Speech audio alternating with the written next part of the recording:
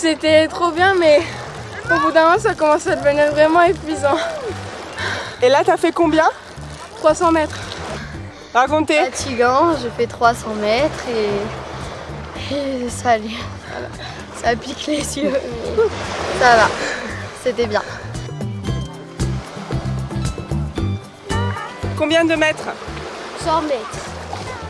On a plusieurs objectifs dans la réalisation des brevets de natation. D'abord, amener euh, un moment ludique pour l'ensemble des, personnes qui sont sur la plage, donc des moins âgés ou plus âgés. En fait, on les prend en bateau, on les amène aux 300 mètres et on va les euh, laisser nager sur des distances 300, euh, 100, euh, 50 et 25 mètres.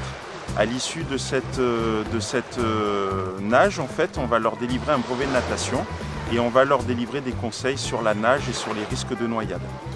À l'issue de cette euh, première partie, en fait, on va basculer sur euh, un petit moment où on va échanger avec eux pour leur donner des conseils, notamment sur les risques sur les plages, sur les risques actuellement en, vue des fortes chaleurs et des risques de malaise et de noyade. Et ensuite, on va avoir un troisième volet où on va leur apprendre les gestes qui sauvent, c'est-à-dire les premiers gestes primordiaux face aux accidents euh, les plus courants.